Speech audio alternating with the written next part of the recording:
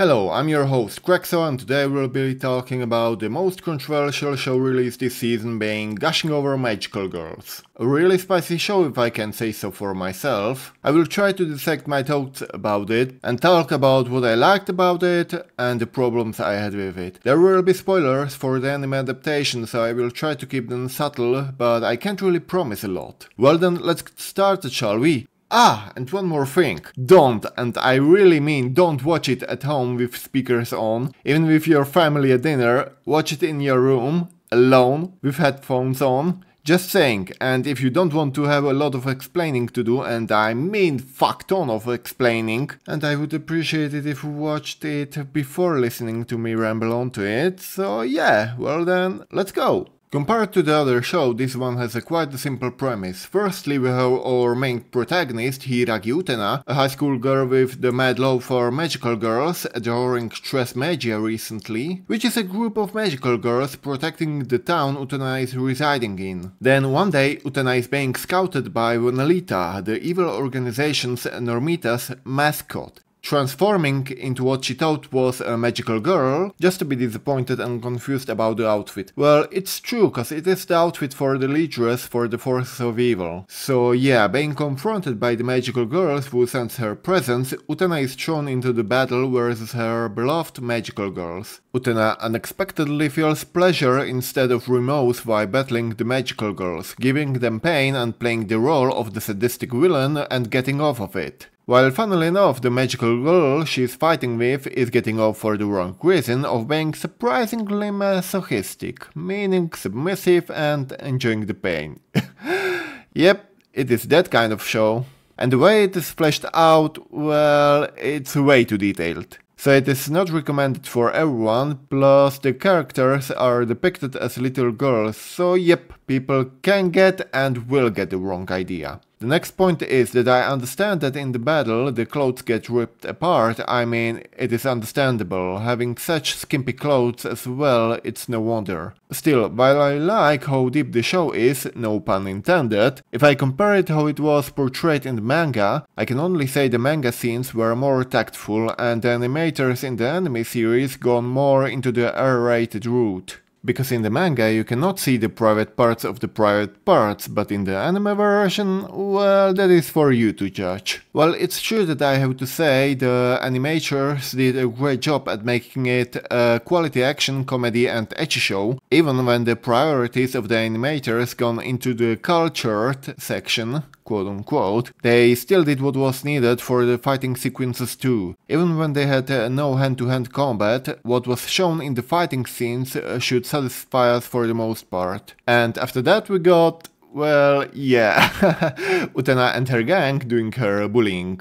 Utena, at the end of the second episode, chooses her own villain alias of Baiser, which came from Old French or Latin, meaning to kiss or like to fuck over someone, like Utena did in the second episode with Azure.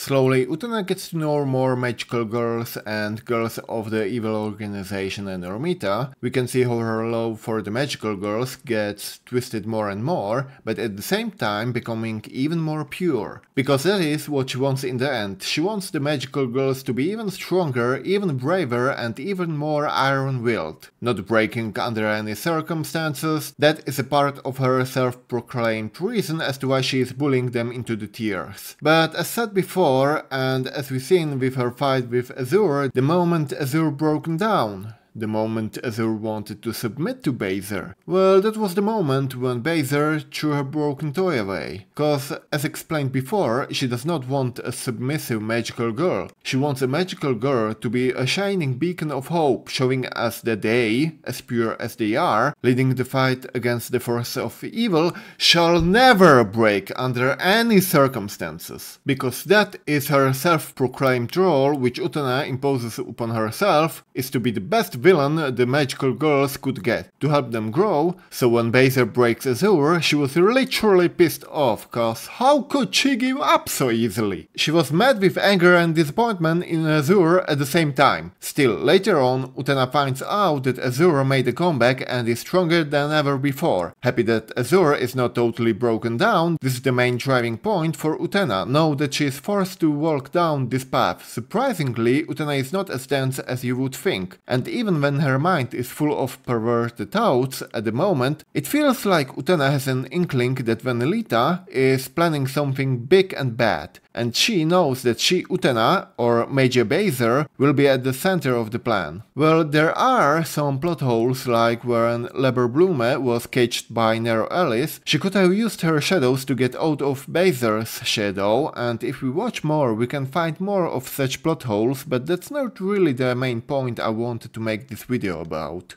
From what we have seen in the series, it feels like it's just a slice of life show with a slow build-up, which I'm all in for, because the last time we got an interesting Magical Girls show was Magical Destroyers, with the pacing which was all over the place, so there is sometimes no reason to go meta and having a slow build-up with slice of life elements and not making it overly complicated is really enough most of the time. We get the motivations of all the characters slowly being introduced to us throughout the whole story. The backstory of some of the characters as to why they are magical girls or villains can be silly for some and deep for the others. The part which I'm curious about is how it will continue. I did read two more manga chapters so I could be caught up with the release of the last anime episode, so currently, as quote unquote anime only for the series, I definitely say that it's interesting. The story is more of embracing our inner self than the fan service which we got, like the warp glow in between Azure and Baiser, or Utena and the Magical Girls. Each character has a quirk or gimmick which we can categorize uh, them under, like Alice wanting to have some playmates while cherishing her toys. She does evil stuff only cause for her it is just playing villain and not being a villain, like in theater.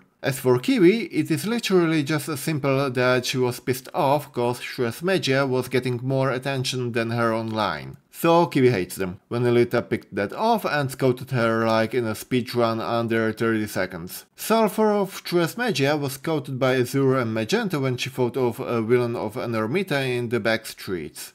As for Magenta and Azure, Azure wanted to sacrifice herself to save a little girl, and Magenta, there is uh, nothing that we know about that. Then we have Loco Musica and Leber Blume, which well, Loco wants to be an idol and somehow got swept into it, and Leber Blume wanting to follow Loco whenever she goes was a no-brainer. So more or less you can see, the thing is that in the last episodes that aired, we could see the members of Tres Magia getting some ill kinks onto the identities of the villains. Like Azure getting a massage from Utena feeling the same was as if it was done by a Baiser, I mean the feeling, you know, you get it. Magenta seeing the toys from Alice wreaking havoc in the vicinity by Nero Alice. As for a Sulfur, we saw nothing. It's just that her and Kiwi's personalities don't really mesh with each other and when they are, you know, in casual form, they just bicker with each other, so maybe that similar feeling could get across. So that were my thoughts onto the show. Overall, I was surprised when I seen Chibi Reviews make a video onto it. I had no plans to watch it before, so I gave it a go. Not disappointed and having a fair bit of fun with the series, I gotta say. The animators and the voice actors are carrying the series as a whole. Oh,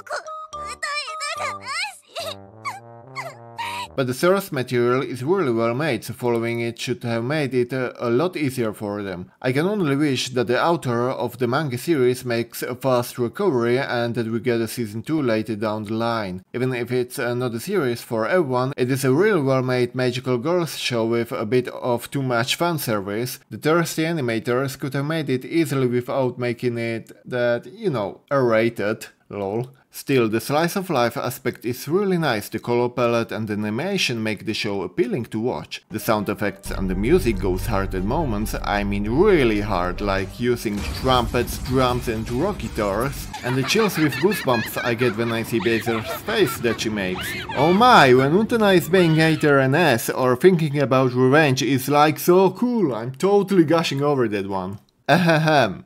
Well then that should cover it more or less, give it a go if you don't mind the R-rated fan service. Thank you all for watching, please like and subscribe and I wish you all to stay in good health. Goodbye!